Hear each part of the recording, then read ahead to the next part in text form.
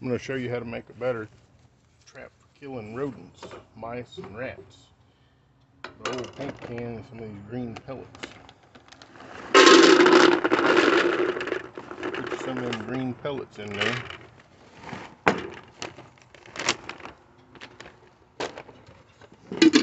Lid on.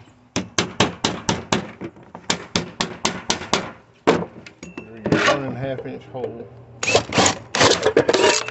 cats, dogs and things can't get in there. That's it.